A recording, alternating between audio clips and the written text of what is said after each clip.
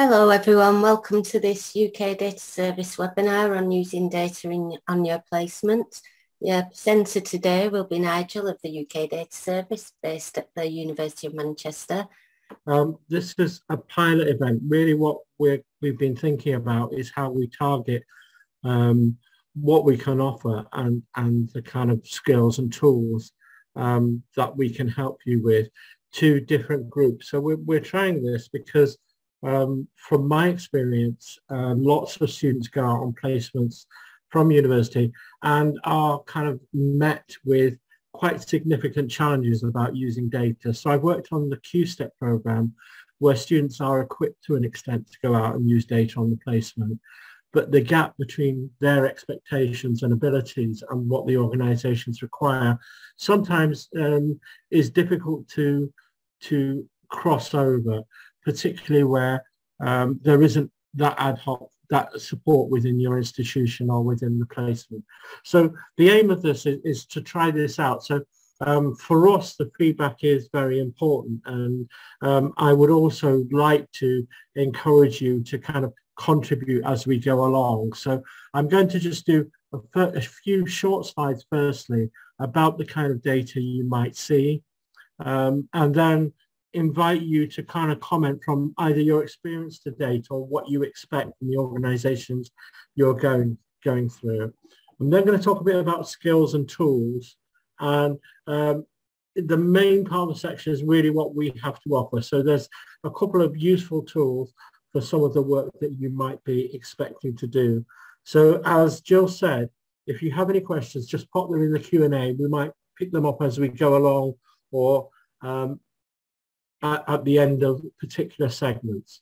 So first of all, this is some data that was collected um, by the government and is published every every week. So at the end of the week, they consolidate the number of positive COVID tests, and I picked out some of the wards in some of the MSOAs, actually, uh, their mid-level super output areas, um, that are relevant that you, you might understand. So there's University Park there, Lenton, around Arboretum, the city centre, and a couple of places in Wollaton and St Anne's. And what these show is the number of cases per um, per week that have been reported. So you could look at those and say, well, actually before Christmas the numbers were pretty high in Lenton and they've come down. and you can make a fist of explaining that. But the way we tend to report these is to use what's called a rate. So that the standard rate for this is, um, for some reason, the case is per 100,000. So what you can see now is that I've standardized those cases so it's easier to compare between the different areas. In particular, if you look at the Wollaton area and St Anne's East, they're much smaller than the other areas. So if we just compared the numbers um, as raw numbers, we'd have had quite a different rate. So the number is the rate in St Anne's East is quite high, whereas the number wouldn't have appeared out of place against some of the other areas. Um, okay, so, so that's just a quick way of thinking about how you present numbers. So you may well be presented with tables of data that just have counts in them. If you're going to translate them into something useful, percentages, or rates are useful. So in, in terms of looking at COVID, as I said, the protocol has been to look at cases per 100,000.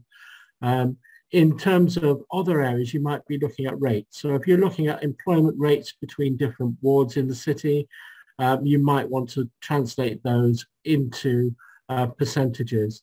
And I pulled this population from um, statistics released as a mid-year population um, so you will need to find, in effect, a denominator that tells you how many people are in that particular geography. Moving on from here, the kind of other big source of data you have is what I've called administrative data. So generally this has been collected as part of the operation of the organization you're working with. Um, it might be individual records. So if you're working in a small charity, it might be a paper register of people who come in and use the services of the charity. Um, if you're working somewhere larger, it might be electronic. It might be a row like in a spreadsheet It might include numbers, words, and may also include things like sounds. So, um, you know, you may have an interview, which is an individual record of talking to someone, but it would be an audio. So the first thing to think about with that kind of data, if you're asked to analyze it, is how do the organization do it? Um, and the second question to ask is, does your analysis need to be repeated? So I think this brings us on to an important area, but if it needs to be repeated, you need to do it in a way that somebody else who's not you in the future can carry it out, which means you're also going to be writing a set of instructions and using tools that somebody else can um, acquire the skills to use fairly easily. So there's another factor to think about. If you're asked for, to look at a task with administrative data, um, this those are the two key questions I would say. So how does the organization do it? And if it hasn't done it yet, does your analysis need to be repeated? Um, the second type of data to think about is secondary data. So this is stuff that's already collected and held in archives like our own, uh, the UK Data Service Archive. It might include service surveys, it might include census, it might in include qualitative data, interview recordings or transcripts, uh, evidence from focus groups, photographs or documents. So if you're using secondary data, you know that it's already been collected. And for many people, the assumption is that collecting your own data is best. I would say as, um, from my experience, using other people's data that's already been collected and validated is generally more effective for most um, pieces of work that you would need to do. Um, though clearly if the data isn't there, you might need to think about the next area, which is kind of primary data. So this is where the organization might decide or they might have decided or it might be part of your task to help to understand issues by producing surveys or doing interviews or collecting data. So there's a few things to think about here.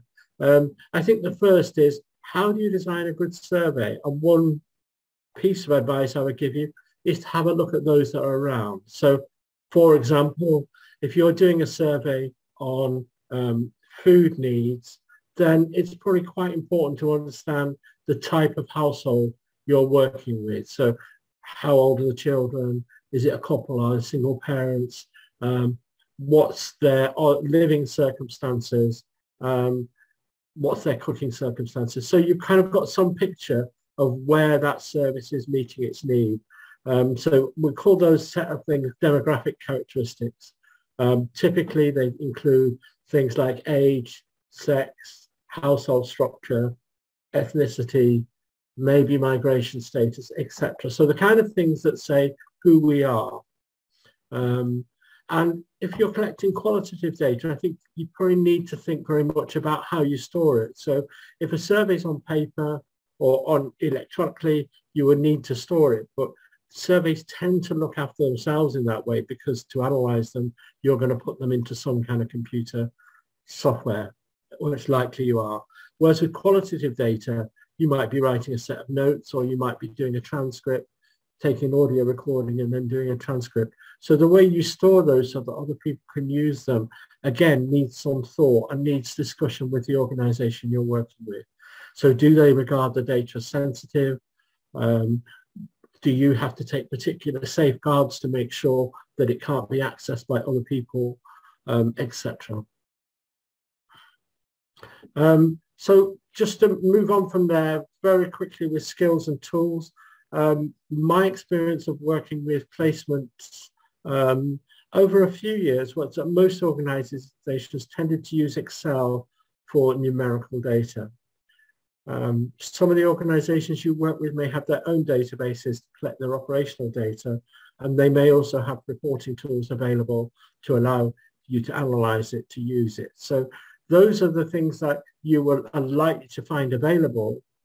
Whereas in universities, we often use quite expensive software, partly because we get it cheap, but we use statistical packages like SPSS, Stata, mapping software like ArcGIS, but that may be far too expensive for many of the organizations you'll work, be working with.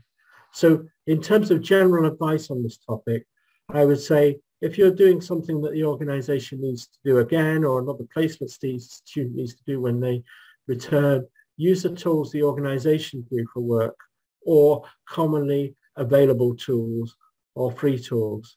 But if you're doing a one-off project, a research project, then use the tools, either the ones you're familiar with or the ones you want to learn.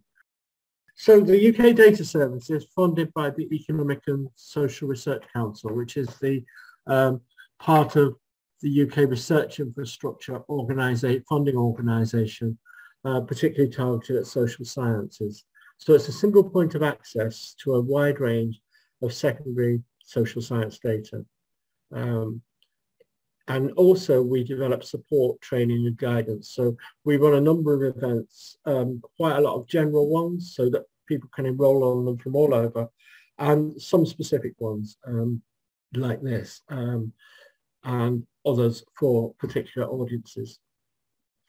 And these are the kind of topics we cover. So um, this is not an exhaustive list, but this is trying to pull together what we look at. So uh, if, if, you're interested in employment of work, we, we hold the Labour Force survey, which is done um, every quarter. Um, and there's a component which is um, the same people who ask questions over five quarters. A larger part of that collection is the annual population survey, which uses less questions, but carries a lot of information or collects a lot of information about the politics, the population of, of the country. Um, and uh, in terms of health, we run the health survey for it. We don't run it, sorry, we hold the health survey for England, the Scottish Health Survey and other related health surveys. Family finances, there's a couple of big surveys there, one on family resources and one on living costs. Uh, the crime surveys for England, Wales and Scotland. A whole set of um, things around attitudes and opinions and housing in the local environment. So these are national surveys. Uh, we'll talk a little bit more about them, but we hold those. So your um, okay. Um, so you can access information about these areas. These are quite large surveys. They many are, are held annually, um, and some ask the same people, others ask a random group of people. So for example, the English Housing Survey is what's called cross-sectional. So a random group are picked each year and they are asked a series of questions about their housing conditions, their attitudes to housing and so on.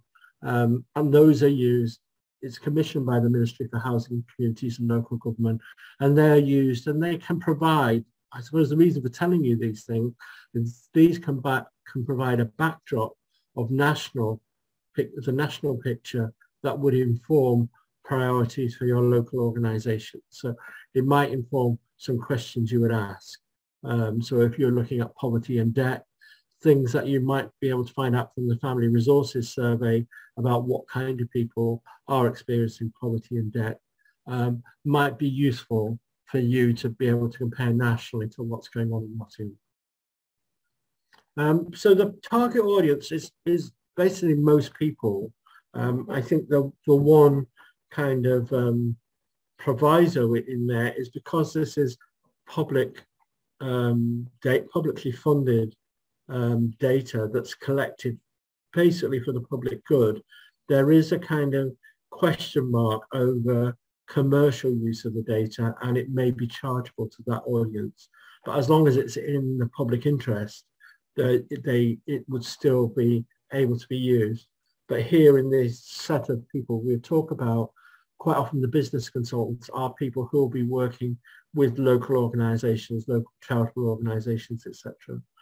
Um, so, you know, you, you fall into the category of academic research as students, government departments use it quite extensively, as do charities and foundations, um, business consultants, independent research centres and think tanks. So um, we have a large potential audience who use things. And I think um, there's probably less use made of it, of this data by smaller local organizations um, that could be improved, that, that would be improved um, through working with you so that you're aware of it. So I think that's one of the reasons placement students are a target audience for us is to think about the skills and knowledge you take into smaller organizations who may not have the skills themselves to access the kind of um, data and tools we have that could be useful to them. So the data generally comes from official agencies, mainly central government. Um, there are some international data sets that are collected from organizations like the World Bank and the IMF. Um, research institutions who are funded by the UK research uh, UK research bodies uh, may be required to deposit their data. So you would find some data um, that's held in the um, in our archives, which has been collected by other research projects um, and individual academics. Um, in terms of market research agencies, most of the data that's deposited by them is where they've been commercially contracted by public bodies to, to do the data collection. Uh, there may also be public records and historical sources.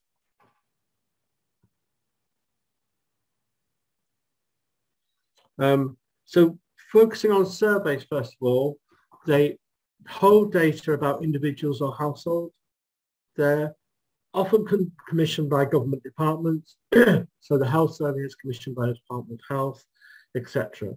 They're conducted by organizations such as the Office for National Statistics, the National Centre for Social Research, etc. And they include characteristics with key sample sizes. So the aim of doing this kind of survey is to be able to say something about the state of the country in terms of a particular area. So if you're talking about the world of work and employment, then the aim is that you can make assumptions because we've got a large enough sample about what the national picture is. Um, and we use similar questions with a new sample of people every time, often repeated regularly. So the English Housing Survey is a repeated cross-sectional survey. Um, so here is an example of one that is run every year quite often you will have seen news headlines about issues like Brexit and immigration as you've been growing up. Um, more recently, probably about inequality. And a lot of the reporting of this comes, an analysis of this comes from this survey, the British Social Attitude Survey. Um, it's been run every year since 1983. It covers social attitudes on a range of topics. Um, and there are annual reports on the key topics. So the chart on the right shows whether people think income distribution is fair in Britain. And there is the difference is shown between England and Scotland. And what it seems is that as um, a group of, of, people in the country, near a bit more than half of us think income distribution is unfair. But there's a larger proportion in England who think it's fair or very fair than in Scotland. Um, so that in that topic of inequality has been one of the focuses. So if you're interested in particular attitudes um, within the population uh, that affect the service, then this survey might be a useful one to look into. Um, the health survey has masses of data. It takes 8,000 details from 8,000 adults and 2,000 children approximately each year. Uh, it asks questions about their experiences and attitudes towards health. Also takes clinical measurements, so height, blood pressure, weight, and biological samples. Um, and the, this chart comes from that, and it's basically showing who's been drinking more than the recommended weekly amount by age and sex. So um, I have something obscuring the top right of my screen, but the darker bars are men and the lighter bars are women. Um, and then we have a breakdown into 10-year age bands. So we can see that men kind of, you know, around one in four men are drinking too much up to the age of 45, and then it jumps up to one in four, um, up to 75, and then it drops again when people um, hit 75. So this is about those people who answer the question, um, so if you were to say where is the problematic drinking age for men, I would kind of guess around 45 to 65, because that looks like where it's where it's high. That's the group you'd want to intervene in, um, where you may be presenting, preventing alcohol-related diseases, etc. Um, with women, it's slightly younger, um, and also that young age group is quite probably quite worrying where women are drinking more than men. That's the only great age group where that's happening. But that's just me reading off it. But if you're interested in health, then you might be able to get some ideas about the national picture that would then you would be able to compare to what you knew about Nottingham, where your your organisation was running different types of interventions. And then here we have the English Housing Survey. So on the right here is what's been generated um, from the survey by the authors. Um, and that's an infographic. So it's basically saying um, how has the, the proportion of households in the private rented sector um, behaved over the last three or four years. Now, um, I'm quite cynical about the way statistics are used, I suppose, because what we're seeing there is a very small drop, but it looks quite big on that chart, doesn't it? So it's gone from 20.3 to 18.7. So that's 1.6%, which is less than a 10% drop. Um, is that significant? We don't know because we don't really know the denominator either at the moment. But um, I'm a cynic about that that data, but it might it might be useful. So if you're saying you're looking at housing in Nottingham, how many um, households in the private rented sector and has that number gone down in line with what's happened nationally? Or has it increased? Um, a further question might be what kind of households are in the private rented sector? So many students will be living in the private rented sector in Nottingham, um, for those at the university, possibly around Lenton, Dunkirk. Um, for those in um, Nottingham, Trent, maybe up towards Arboretum and Forest. But those numbers are, are a particular type of household. Um, most students who leave the halls after their first year would expect to live in the private rented sector. Whereas I suppose many people with children might not expect to be living in the private rented sector um, later on as, as their children start to grow up. Um, and the other thing that happens is, is the way the, the map shows what where the highest number are, the lowest, and those are in the private rental sector outside London. So, so that infographic was derived from the survey and we could have done that ourselves with the tool we're going to show you um, later on and you're going to have a go at. Um, the other thing that is worth understanding is longitudinal studies. So these follow individuals over time. There are two types. So one is where you have a household or an individual and you start asking them questions and you say, are you prepared to be part of this panel? And we'll come back and ask you questions each year. So some big examples include the um, British election study, which is used uh, using a panel methodology, understanding society, which we're going to look at. Um, but we also have specific cohort studies, so looking at cohorts from uh, who are born in particular years. So the 1970 British cohort study is an example of that, the Millennium cohort study. Um, and there's also an aging one. So that these enable us to answer slightly different questions. It's probably getting quite complicated. Um, I'll give you a couple of examples here, but um, it does enable us to say, well, what happens to somebody over that period of time? So if you look at the English, English longitudinal study of aging, um, it's quite important to try and understand why people are well or not in later life. And the survey helps us to do that by asking people their previous history, historical experiences of work, of health, etc. So the um, data set that is probably the largest around has 40,000 households, 100,000 in individuals, and has been running for 10 years, incorporates uh, a previous survey, the British Household Panel Survey, has some useful things. So in particular has an ethnic minority boosting mechanism, which for many surveys, um, data on ethnic attitudes or experiences is quite weak. Um, this survey addresses that by this boost measure. It also collects some biomarkers, and there are options to link to other data that's held about individuals. and it covers a whole wide range of things. So it covers areas like employment and earnings benefit, political party, identification, household finance, environment, family life, etc., etc., etc. And there are questions added in as we go on. So um, in response to COVID, there was a set of um, surveys carried out every two months by the Understanding Society team uh, covering household experiences of employment, education, income, health, and living conditions.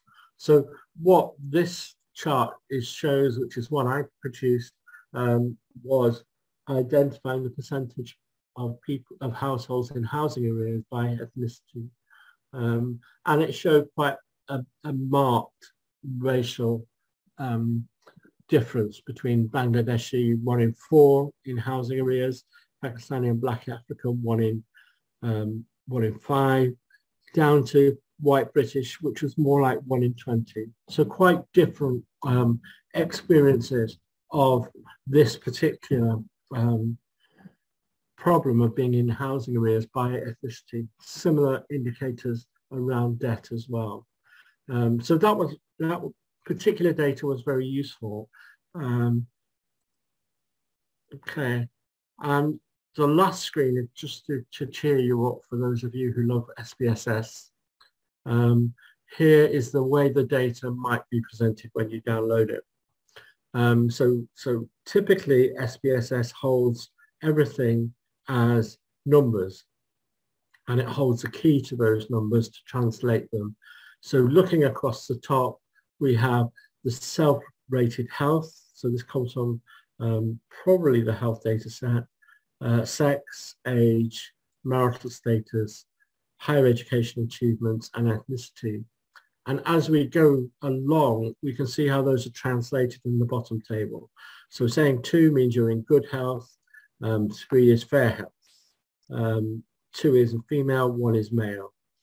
The ages are in age bands. So it looks like two is 25, 44, etc. So it's in those 10-year age bands we were looking at before. Marital status again, um, degree level, no qualification, and ethnicity. So what we can see when we use this data is a set of numbers in a table, but when we report on it, we will get the descriptive elements. So we'll be able to see the state of people's health by gender, for example, in a typical table. Um, so that's the kind of stuff about survey data. We also hold qualitative data, though probably quite a lot less because um, one of the issues here is that many researchers who carry out qualitative research don't feel comfortable leaving personal interviews, um, photographs or records of group, focus group discussions because they are very easily tied to an individual. So if you think of the secondary quantitative data, well, it's going to be quite hard to work out from all of those characteristics who a person is. Whereas when you come into qualitative data, then people may well be recognizable. So we hold historical data that has gone past the point where it would be um, the, the, person identifiable will matter. So we hold census data from 1911 back to 1851 and the 1921 census data will go on. Um, so that is a, a kind of set of data that you can access with different conditions, but that's partly because the requirement to protect individual from disclosure about who they are has gone. There is some qualitative data, some interview data, um, etc. So you can look for that on there, but thinking about the qualitative data that might be particularly useful, I think a lot of people would look at newspapers and look at newspaper archives to explore issues. Um, and again, those are kind of, you're not worried about disclosure. Once somebody's been written about in a newspaper, you can talk about them safely. And an example here is this study that was the National Child Development Study. So there was a qualitative element which took in interviews with 220 people looking at questions around neighborhood and belonging, leisure activities, social participation, personal communities, life histories, identity, and reflections on being part of that study. Um, so these are, are kind of quite useful. We give access to them. You'd also find in your local archives, either at the university or in the council, there will be archive material um, from things collected like oral history, um, etc. That, that may be of relevance to the work you're doing. So what I want to do is to describe some of the other data there that might be relevant. So um, we collect, we have a set of aggregate data, generally about population groups, regions or countries. Um, and this is an example of a world map of inequality. But the bit that might be very interesting for you is the census type data. So first of all, this is just to give you an appreciation of how we might um, think of data. So we take a space, we draw lines around it, and we say, here, these are the number of the population of that space. So typically in Nottingham, you would draw lines around different types of geographical areas. So you're probably familiar with um, the names of places rather than necessarily the boundaries of those places. So when uh, we talk about Lenton and Dunkirk, you would kind of know where it is, but would you know where the boundaries actually are? Um, so if you vote in local elections, you might know that your councillor is the councillor for that particular area. But if you don't vote in local elections, um, then you wouldn't necessarily know that. Um, but when we come to looking at numbers and maps, we, we have this kind of quite useful set of data from the census. Um, you're at a particularly difficult time in terms of census data because the last census was 2011 and the 2021 census data will only be released later this year. So you're unlikely to be able to use the latest data, but it still may have some useful in information as it's used as a baseline, has combinations of characteristics and small geographies. Um, and you can get these kind of tables of data out. You can also look at individual characteristics of data. It has your baseline population, kind of employment, occupation, social class qualifications, ethnicity, religion, etc., housing and tenure. Now, this may have changed um, since 2011, but it's still probably the most comprehensive source of information you're going to get unless you're working with an organization like the council or a health service that collects its own data. Um, so you may well find you'll want to use this. Um, going back to the previous, the way to get aggregate data is from this link here InFuse, and you can create your tables and download them from there. Um, I'll share these slides through Steve so that you can have a look at them yourselves. Uh, and for those of you who might be thinking about um, doing a placement again next year, there will be new information as well.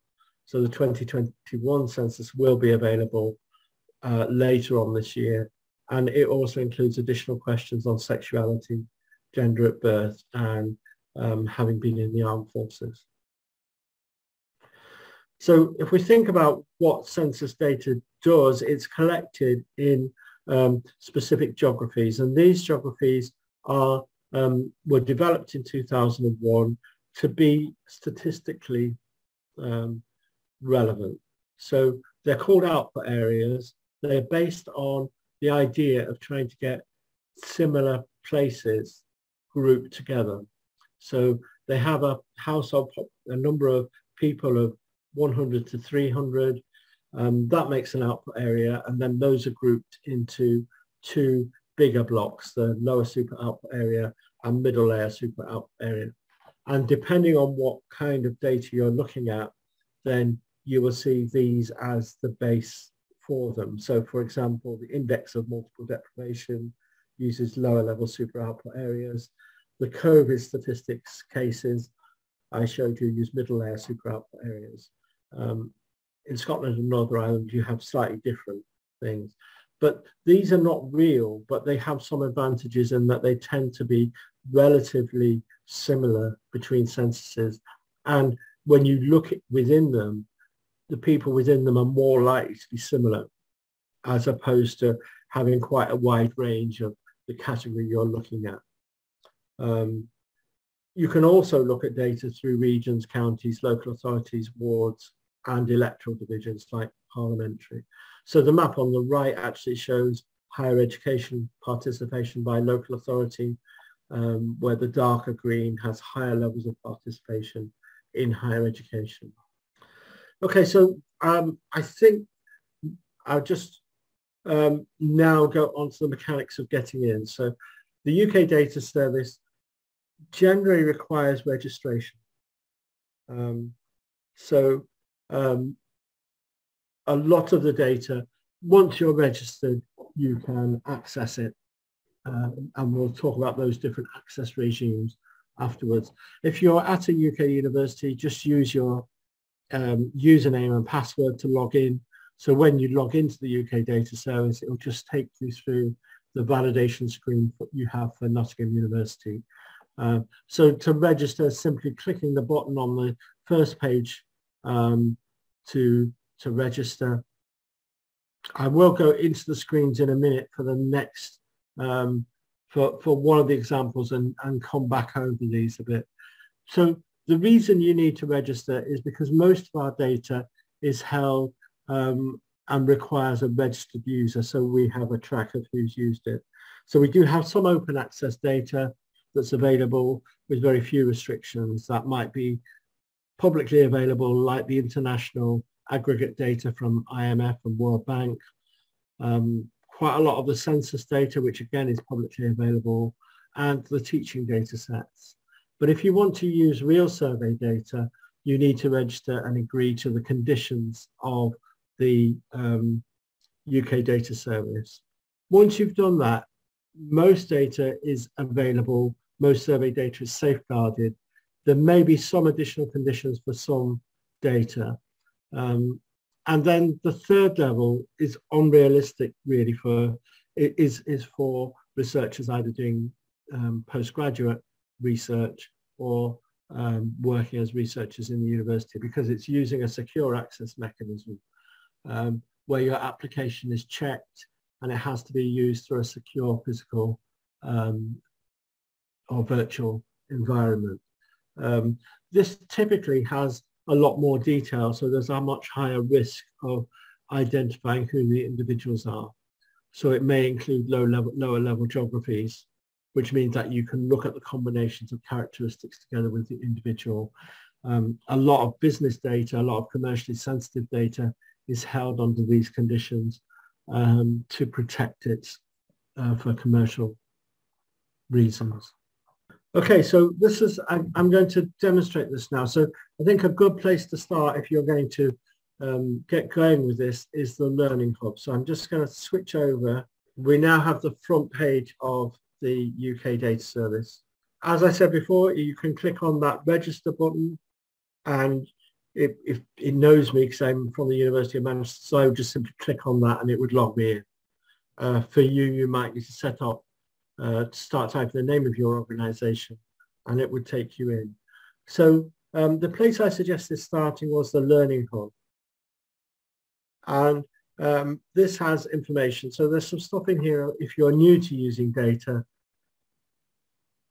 And it has a description of what secondary data analysis is, um, some training interactive modules where you can develop skills, um, something about researching data, a section particularly for students. So there's a student's guide to the UK data service.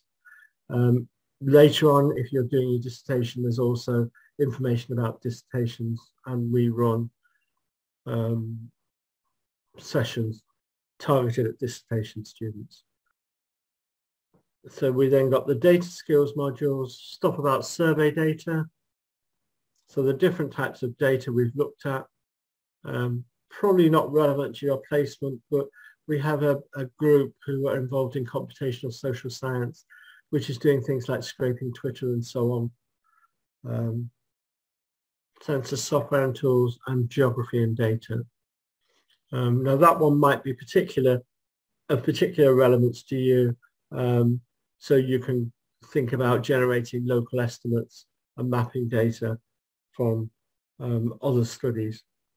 So a good place to start, I think, is that section there's a number of interactive tools. There is, for example, a tool on mapping data using uh, free GIS software um, if you want to, to do that. Right now, what I would then move on to doing is once you kind of familiar with what you're doing, how do you find data? So if we go into find data, I'll click on the front and I'm in the find the welcome. So if I'm going to find something, I can just search for it. So as a starter, I don't know what I'm looking for, but I want something about mental health. So if I search for that, it will give me 250 results. And looking at the first ones, a lot of them are about mental health trusts. Well, I'm actually interested about mental health and students. So if I refine that search, what I then get is some more relevant information. So um, student mental health during COVID-19 pandemic, a study by people at Birmingham, um, getting to a, off to a mentally healthy start in doctoral study, which might be useful. Um, and then, you know, it goes away to something else that isn't so interesting. But so the first thing when you when you know what you're looking for, uh, when you're not sure what you're looking for, might be just to go there. Um, if I decide I want to look at this data set, I can click on it and I would need to be, this data is open so I can actually access it. Um, and it's based on a depression anxiety scale. So I could, um, without being logged in or registered, I could access this because the data is open. Um, so I think the reason for showing you um, that way into it is that um, I think you may well find it very useful if you are looking at a topic to be able to go and have a look at things like Nesstar to get some indications on what's going on nationally to inform local work and local analysis. It's always good to have a comparison. You know, um, I suppose I know Nottingham reasonably well, having um, worked there for three years. Um, but it does seem to me there are some particular issues in Nottingham which um, organisations there will be involved with. So there are particular issues around debt, uh, around precarity, um, in common with many other kind of urban areas, Nottingham has a kind of level of deprivation that is probably higher than many of the areas, other areas in the country.